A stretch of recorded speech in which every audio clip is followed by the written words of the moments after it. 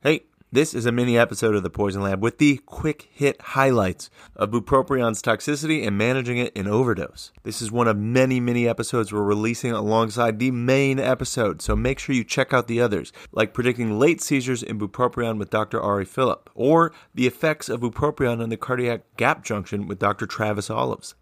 Or just check out the main episode. But if you're in a hurry, here are the main takeaways about bupropion in today's day and age.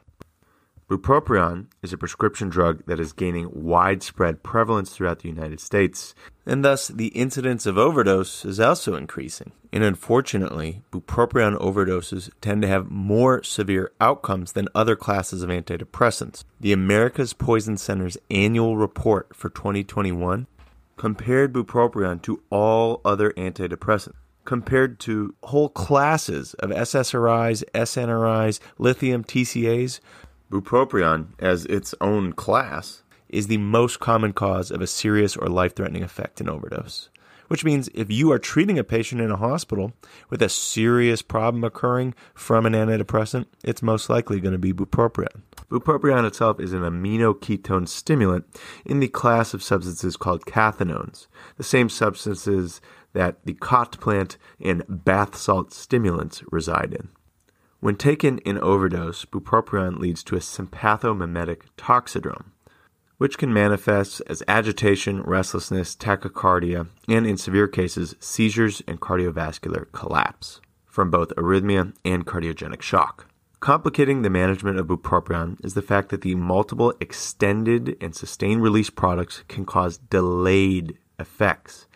Bupropion is a toxic time bomb, where you might appear initially stable but then decompensate up to 24 hours later.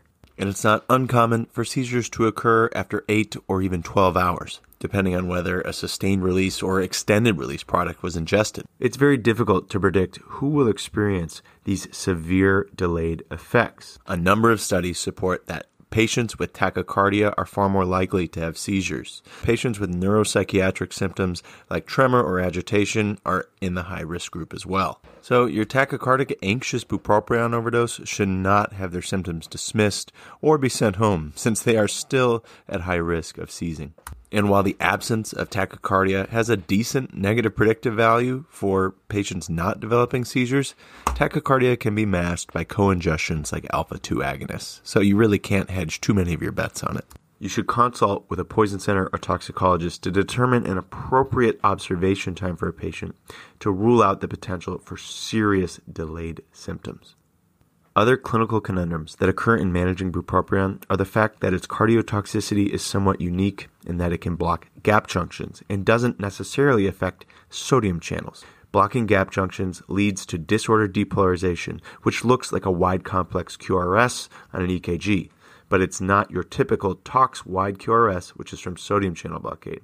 You should still give sodium bicarbonate or other hypertonic sodium to try to narrow the QRS, but we have to be prepared for it to be refractory, and patients in malignant unbreakable arrhythmias may require things like ECMO. Unfortunately, refractory arrhythmia is not the only problem. We can also see refractory cardiogenic shock, potentially from bupropion's effects on the gap junction. Cardiogenic shock can be managed with standard vasopressors and inotropes, but mechanical circulatory support may be needed. If you have a patient who's showing life threatening signs of toxicity, is peri arrest, or maybe in a refractory arrhythmia, IV fat emulsion has been used in a number of case reports. And it may help or at least be a bridge to more definitive therapies like ECMO. If you have a decompensating patient, you may want to have the conversation with your ECMO team earlier than later as to whether or not the patient would be a good candidate.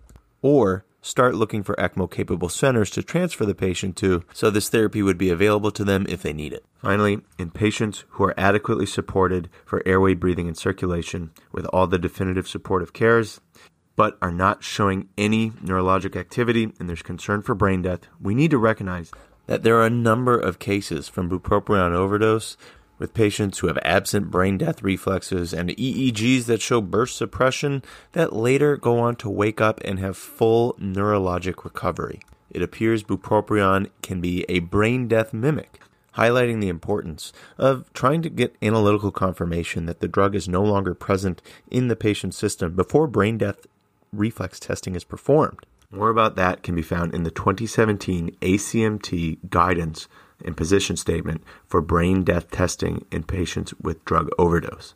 Lastly, due to the possibility of severe and difficult to manage consequences from overdose, some toxicologists are very aggressive with their gastric decontamination.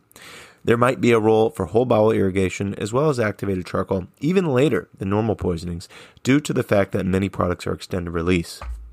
Just another reason why you should contact a toxicologist early.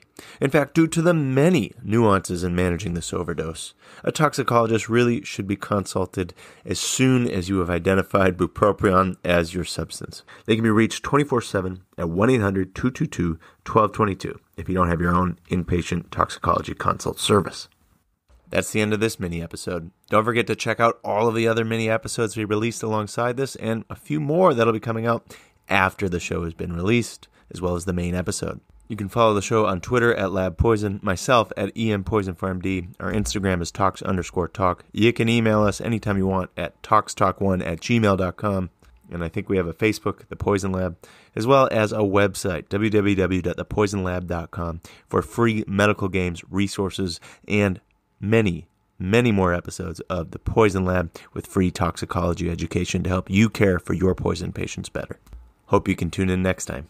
Hey, Toxo, can you play us out? The information on this show is for educational purposes only and should not be interpreted as medical advice or treatment recommendations. Contact your doctor for health questions or call your local poison center at 1 800 222 1222. The opinions expressed on this show do not represent those of our employers.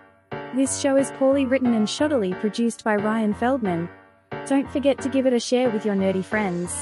Cheerio, mates. See you next time.